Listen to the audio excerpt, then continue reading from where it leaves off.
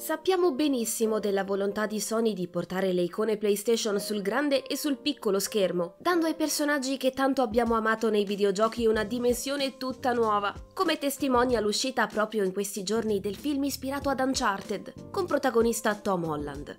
Aspettando dettagli concreti sui vari progetti in corso, sono emerse nuove informazioni relative alla serie TV di The Last of Us, realizzata in coproduzione con HBO.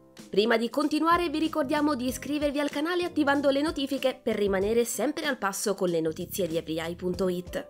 Partiamo da un'indicazione temporale. Contrariamente alle aspettative di molti che speravano di vedere un primissimo spot promozionale durante il Super Bowl di domenica scorsa, è ormai chiaro che la serie TV di The Last of Us non vedrà la luce nel 2022. A confermarlo ufficialmente è stato il responsabile dei contenuti di HBO Casey Bloys, spiegando che al momento manca ancora una possibile data di lancio concordata in quanto lo show risulta ancora in piena produzione. The Last of Us è in fase di riprese in Canada. Non abbiamo ancora annunciato una data di uscita, ma non sarà nel 2022. Stanno ancora girando a Calgary. Ha candidamente ammesso Blois, rinviando dunque la fatidica ora X all'anno prossimo. Se quindi si allontana il momento in cui avremo modo di vedere Pedro Pascal nei panni di Joel e Bella Ramsey in quelli di Ellie, attori già visti e particolarmente apprezzati nel Trono di Spade, dove interpretavano rispettivamente Oberyn Martell e Lianna Mormont, non sono mancati spunti sulla qualità della serie e sulla sua ambientazione, che differirà dal videogame in almeno un particolare significativo.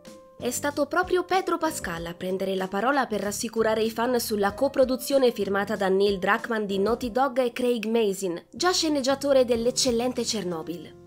Io penso che l'adattamento cinematografico sarà più che all'altezza del gioco originale. Non ho assolutamente dubbi sul fatto che riusciremo a non deludere i fan del gioco, così come i nuovi spettatori. Sono queste le parole con cui la star di Game of Thrones e The Mandalorian si è detta assolutamente fiduciosa sulla qualità di un adattamento che punta a diventare un vero e proprio termine di paragone.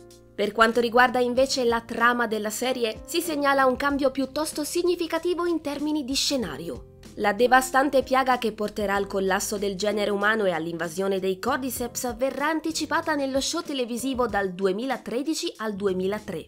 Anche le vicende ambientate nel presente, con la civiltà in rovina e la difficile sopravvivenza dei pochi superstiti, non avranno più luogo nel 2033 come nel videogioco, bensì dieci anni prima, ovvero nel 2023 una contemporaneità che ancora non è stata pienamente motivata dagli sceneggiatori, che non dovrebbe ad ogni modo stravolgere nulla dell'affascinante ambientazione decadente di The Last of Us.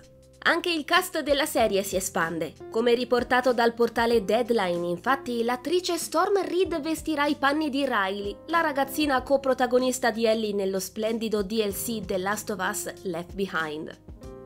Aspettando il primo trailer ufficiale che a quanto pare potrebbe farsi attendere per diversi mesi, passiamo la parola a voi. Siete soddisfatti delle premesse che riguardano lo show TV basato sul franchise a marchio Naughty Dog? Fatecelo sapere nello spazio riservato ai commenti.